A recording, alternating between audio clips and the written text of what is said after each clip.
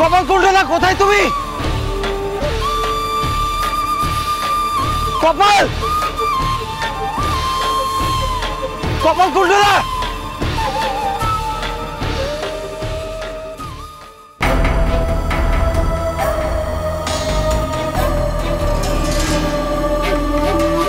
ওর গা থেকে সব গয়না খুলে নে।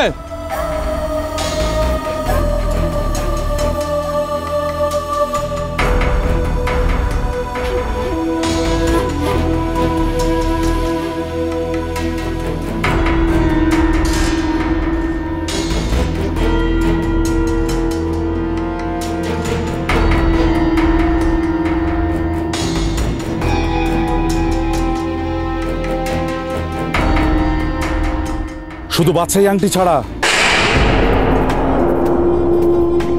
ওটা বেচা যাবে না। ওটা বেচতে গেলেই ধরা পড়ে যাব। আর দেখিস মরে যেন না যায়। মুখটা ভালো করে বেঁধে দে কিন্তু দেখবি যেন নিঃশ্বাস নিতে পারে।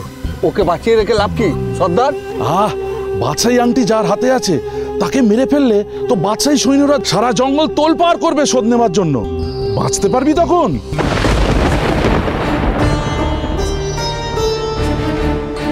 সরাই মালিক বারবার বলেছিল এদের যেন কোনো ক্ষতি না হয়। এদের ক্ষতি মানে কিন্তু আমাদের সর্বনাশ। কথাটা মনে থাকে যেন।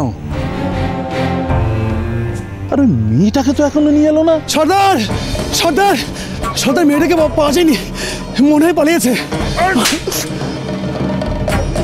অকম্মার ঢেকি সব। একটা মেয়েকে তুলে আনতে পারলি না। ওর গায়ে তো গয়না ছিল। পালকি চলে সামনে চলে। আবার একটা পালকি আসছে। কিন্তু আর পালকি আসার তো কথা ছিল না। তবে কি আরও একটা বাদশাহী পালকি আসছে? লুট করব সর্দার। না আমাদের জানা নেই কত সৈন্য আছে ওদের। তার চেয়ে বরং আমাদের এখান থেকে পালাতে হবে। এই তোরা এই সৈন্যদের আর পালকিগুলো ফেলে দে।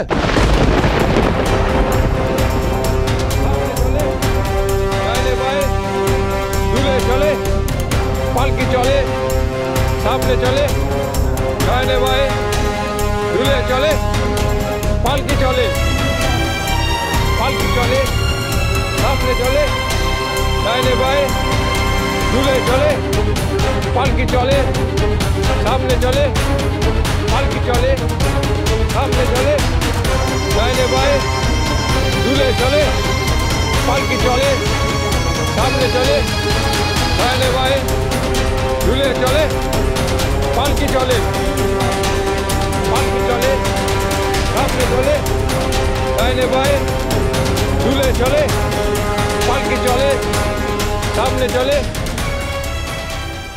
ডাইনে বায়ে দুলে চলে পালকি চলে সামনে চলে পালকি চলে পালকি থামাও না গো তোমরা থামাও না পালকিটা।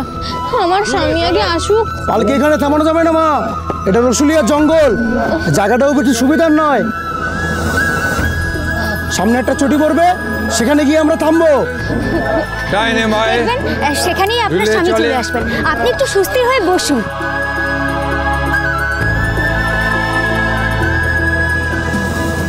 কপাল!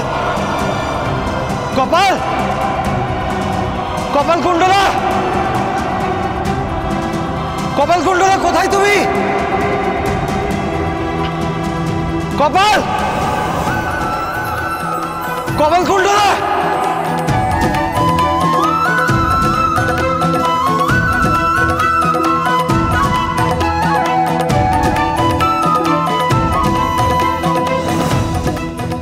রাখো রাখো, পালকি এখানে রাখো। আপনি এবার নেমে আসুন, মা। আমরা সরাইখানায় চলে এসেছি।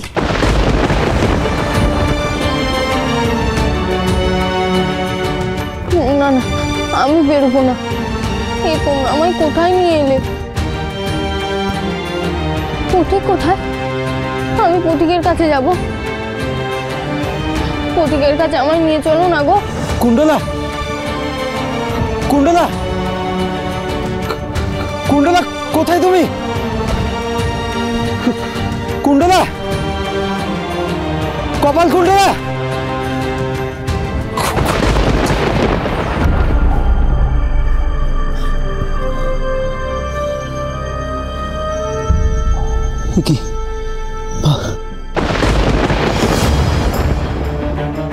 पालकी कार पालकी कपाल कि ना तो ডাকাতের হাতে পড়ল না তো? কপালের পালকি? সর্বনাশ। আমাদের একটা ঘর চাই। কোত্থেকে আসছেন? যাবেন কোথায়? সিথিতে সিঁদুর দেখছি সঙ্গে কেউ নেই? স্বামী কোন জাত?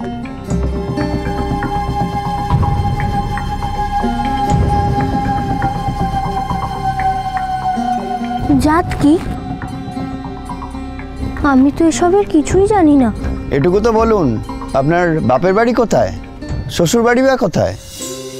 বাপের বাড়ি? আমার তো বাপ মা বলতে কেউই নেই। আমার বাড়ি বলতে ঠাকুর বাবার বাড়ি।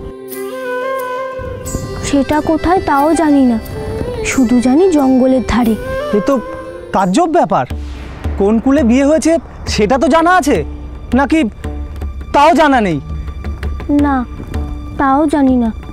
আমি শুধু জানি আমরা যাব সপ্তগ্রাম। আমার সঙ্গে যার বিয়ে হয়েছে তার বাড়ি সপ্তগ্রাম। বিয়ের পর আমরা সেখানেই যাচ্ছি। উনি তো দেখছি কিছুই জানেন না। জঙ্গলে বাস করতেন নাকি? ঘর ভাড়া দেবে কে? স্বামী কোথায় আপনার? উনি একটু পিছিয়ে পড়েছেন। খানিক বাদেই চলে আসবেন। ততক্ষণ ওনার থাকার জন্য একটা ঘরের ব্যবস্থা করুন। বেশ আসুন আমার সঙ্গে। না না আমি যাব না। পালকি ফেরাও। আমাকে আমার স্বামীর কাছে পৌঁছে দেওয়ার ব্যবস্থা করো। আপনি এত উতলা হবেন না মা। উনি ঠিক চলে আসবেন। আপনি ততক্ষণ ঘরে বিশ্রাম নেবেন চলুন। না না আগে পথিক আসুক তারপর আমি যাব। আপনি এত জেদ করবেন না মা। কতক্ষণ বাইরে দাঁড়িয়ে থাকবেন বলুন? আপনি ঘরে চলুন। না যাব না। ও কি গো মেয়ে? তুমি এমন ভাবে না না করছ কেন? চারদিকে কিন্তু হাজারটা পুরুষ মানুষের দৃষ্টি। চলো চলো ঘরে যাবে চলো। আপনি একটু বুঝিয়ে বলুন না। উনি তো আমার কোনো কথাই শুনতে চাইছেন না। চলো চলো চলো ঘরে যাবে চলো। ছাড় ছাড় আমাকে। হ্যাঁ আমাকে কেউ ধরবি না।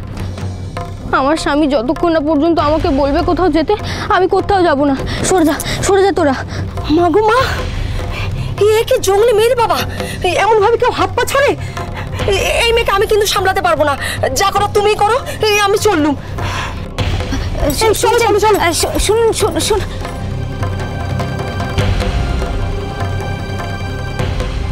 মা আপনি আমায় বিশ্বাস করুন। আমি তো আপনার সাথে এতটা পথ এলাম। আপনার কি কোনো কষ্ট হয়েছে? বলুন। তাহলে আর এটা তো আপনার গ্রাম নয়। বিদেশ বিভূইতে এভাবে দাঁড়িয়ে থাকা ঠিক নয়। লোকে নিন্দে করবে। তাছাড়া আপনার স্বামী তো বলেছেন, পথে যদি না দেখা হয়, চটিতে ওনার জন্য অপেক্ষা করতে। উনি এলেন বলেই। কপাল! কপাল! কপাল! কপাল! কপাল! কপাল!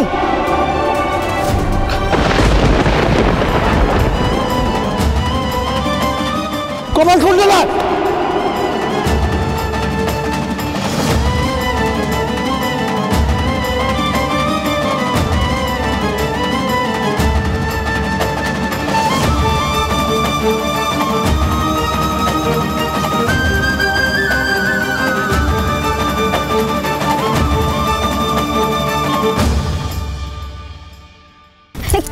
আপনি কোথায় যাচ্ছেন?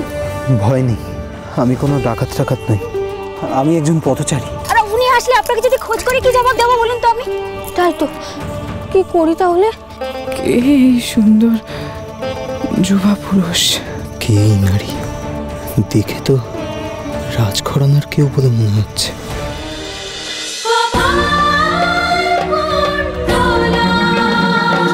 cholo, cholo, cholo, cholo.